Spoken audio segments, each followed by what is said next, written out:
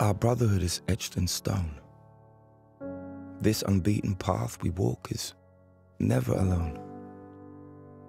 And through the trails of terror, there is no obstacle we won't fear. Because we are unbroken. Unbroken. I would die for you, and you would give your life for me. The very sense of being free.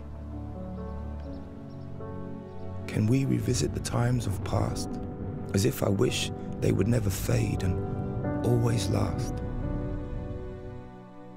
For no demon real or in mind could ever challenge the courage of brotherhood tested in time. So may we walk in the memory of those who forever hold the burden of our freedoms. And I promise to never let your memory die because I'm free in it. And you are always with me and never forgotten.